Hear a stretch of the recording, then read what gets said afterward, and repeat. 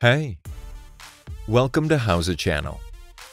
In today's video, we will show you how to change your main shipping address for purchases on eBay. Open your web browser and go to the eBay webpage. Click on the account name at the top left corner of the page. Select Account Settings from the list. Look for Personal Info and go to Addresses. Look for Primary Shipping Address and click on Change. Click on Edit next to the address you have provided before or add another address to provide a new one. Fill in the required fields.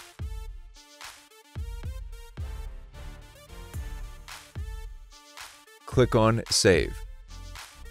If you add a new address, click on Make Primary. Click on Yes in the pop-up window. That's it. Thanks for watching the video. Please like it and let us know if you use any of our tips and tricks. Subscribe to our channel. We upload new tutorials every day. See ya!